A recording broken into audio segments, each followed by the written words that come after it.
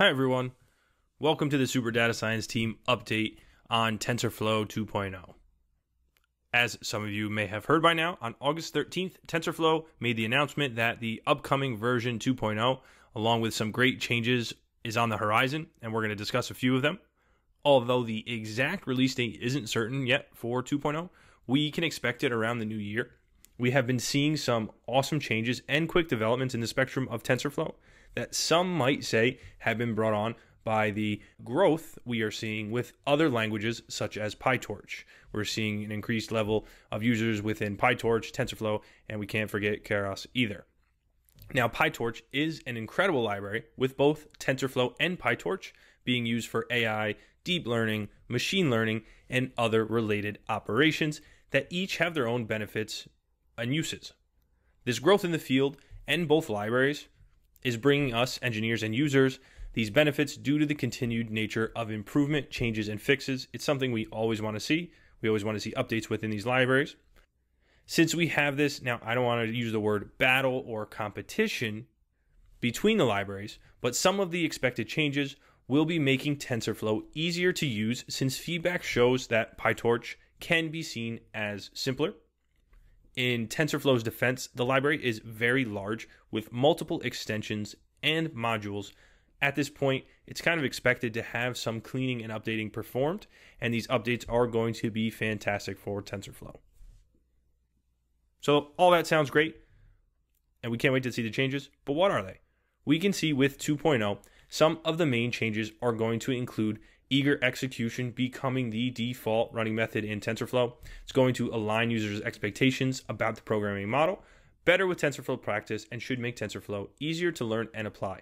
And for those of you who are not familiar with eager execution, it's the programming environment within TensorFlow that evaluates operations immediately. As we know, TensorFlow builds the computational graph to run.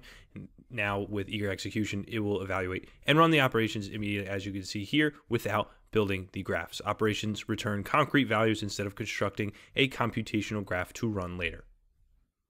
We're going to also see more language support, so support for more platforms and languages, and improved compatibility and parity between these components via standardization on exchange formats and alignments of APIs. And we're also going to see some cleaning, removing deprecated APIs, and also the contrib module. TensorFlow's contrib module has grown beyond, and this is a statement from TensorFlow. We're going to get into that in a second. TensorFlow's contrib module has grown beyond what can be maintained and supported in a single repository. Larger projects are better maintained separately, while we will incubate smaller extensions along with the main TensorFlow code. Consequently, as part of the releasing TensorFlow 2.0, we will stop distributing tf.contrib. And that may come as a surprise, or you may be a little worried about some existing modules, maybe converting them to 2.0. But do not worry, TensorFlow is releasing a tool and a package to help with backward compatibility and porting code to 2.0. So, with the updates as well, graph mode, we are going to see eager execution become the default, but graph mode performance remains optimal for deep learning. We're going to also see the dropping of reliance on global states to become more object oriented. Again, we're touching on contrib becoming removed, and we're also going to have variable scope slated to be removed. If we jump to the link I was discussing before, let's take a look. We can see TensorFlow stating the main changes that we were going through. We also have the compatibility, which is, I think, a key highlight of this to ease the transition. They are creating a conversion tool to update Python code to use TensorFlow 2.0 compatible APIs. So for anyone looking to work with 2.0 or bring it to 2.0 from previous versions, you will have a tool to have compatibility assistance.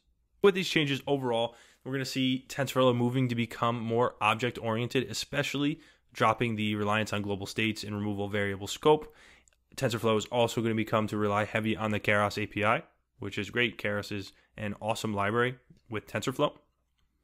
And lastly, if you are looking to get involved or maybe obtain some further information, they are having a public 2.0 design process, which is a pretty interesting piece of information. As you can see in their statement, shortly they were going to hold a series of public design reviews covering the plan changes. So if that is of interest to you, feel free to follow the link mentioned below here that we can see. Keep an eye out for any future updates with the roadmap if you navigate to the TensorFlow roadmap. Here you will find the roadmap. If you are looking for some further information and changes, you can keep an eye out here. You will see some posted information. If you would like to explore further, along with the link we took a look at before, you can see the roadmap that is expected. These changes are expected within the next one to two releases. So you're going to see it with 2.0. We have our mention our eager execution. We also have some other useful information for reference models. We have the removal of contrib and the deprecation of other libraries. It is expected, as we already have seen with TensorFlow, that the library is rather large. There is quite a few modules and extensions. There is some cleaning that is going to be performed with relation to deprecated models. If you would like to discuss the TensorFlow 2.0 update and some of the related information, what's to be expected, feel free to post below the video. Be happy to discuss it. In addition, subscribe to the Super Data Science channel. It is a great way to stay up to date within the world of data science. I look forward to exploring TensorFlow 2.0 further when it releases, and I hope to see you in any future videos.